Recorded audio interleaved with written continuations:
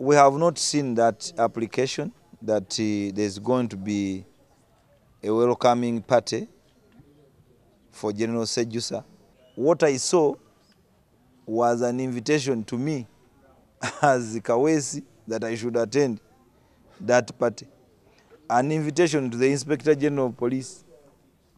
But it was not a notification to the police to have a welcoming uh, procession. And having picked that, I have spoken to General Seju- Sejusa myself on phone.